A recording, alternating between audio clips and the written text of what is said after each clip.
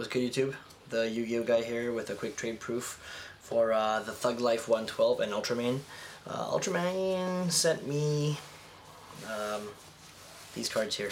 Just kind of random stuff. Got Warriors, Deswarm, uh, Gas Guys, and uh, Jurrac Guaiba.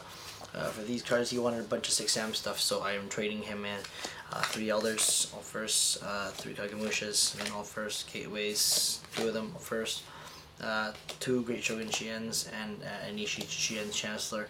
These are all first edition, so I'm sending them to him for those three cards that he sent me. And my second one is for um, the Thug Life 112. Uh, he sent me a Cyber Dragon for an Elemental Hero Absolute Zero. He actually sent me two. Um, one to back the card, just to make it stiffer. So um, it was one for one, but I figured he gave me two, so I'll send him two as well. So I'm sending two for you because you sent me two. Just to me square. Alright, cool man. Thanks a lot. Peace out.